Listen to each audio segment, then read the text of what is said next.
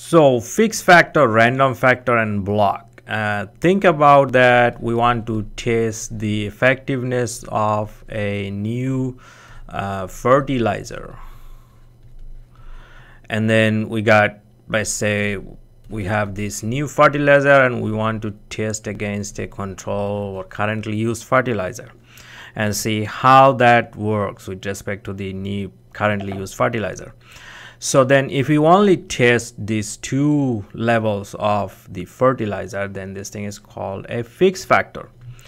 Now a random factor, think about this, I have an option to choose um, run this experiment in 40 different states in the United States.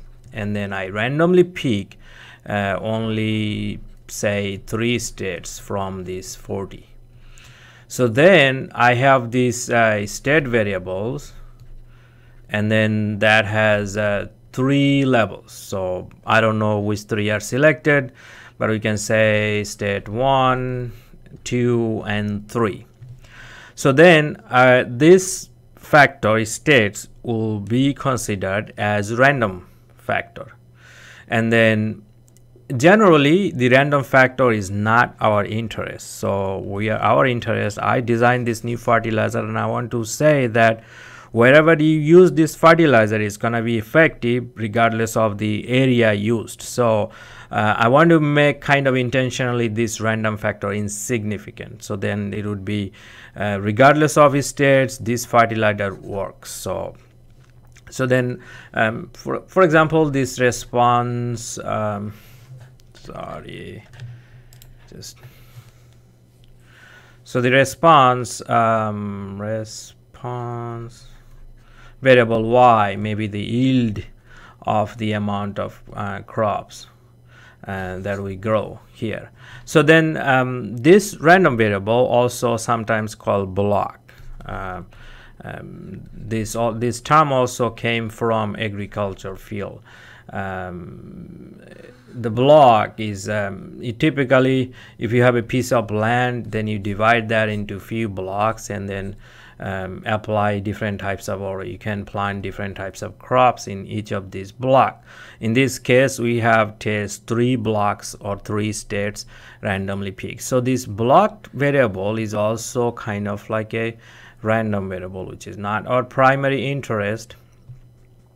However um, so there is really not a difference in a lot of cases the random factor and a block factor. So sometimes it's called um, block experiments or random experiments you can think of like that.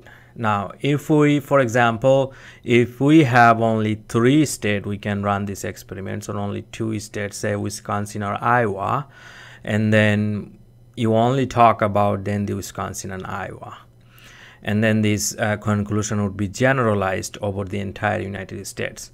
Now in that case, if you only test on two fixed states, then it's become a fixed factor.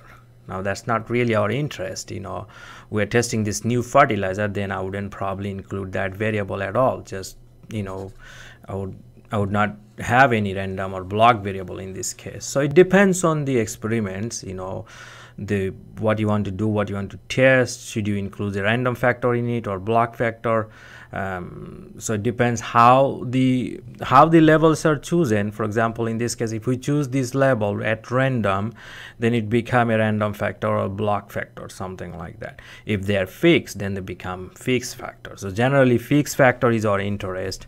Random factor is just to widen our conclusion for um, a wide range of things